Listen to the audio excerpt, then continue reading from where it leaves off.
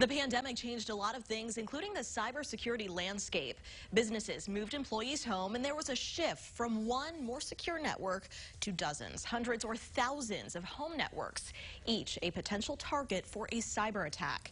Investigative reporter Renee Cooper is live in our Springfield newsroom tonight. So, Renee, what are these hackers looking for?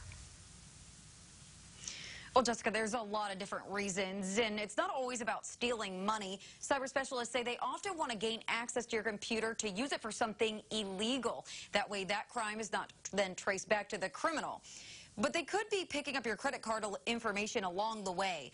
This was all part of the cybersecurity strategy update from the FBI in Springfield today. The special agent in charge met with leaders of InfraGard. That's a network of tens of thousands of private sector members who have teamed up as cyber threat informants to the FBI.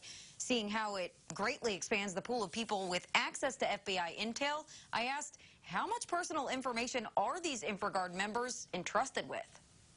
We have zero access to that. It's much more this ransomware that you're fighting, Dave, we think this is coming from an advanced persistent threat out of China.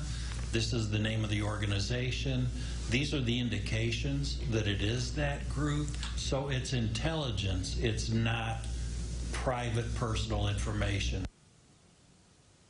InfraGard members do pass an FBI background check, and they're typically people who have worked in cybersecurity or in critical infrastructure fields like healthcare, banking, or other data-related professions. Now, the best at-home protections are things like keeping up with computer software updates, using complex and different passwords, and I know you know about those rather burdensome uh, multi-factor multi authentication uh, services. Now, cyber experts say that on top of the passwords will actually protect against 90% of threats. I'll have a few more tips for you online. For now, back to you. All right, Renee, thank you.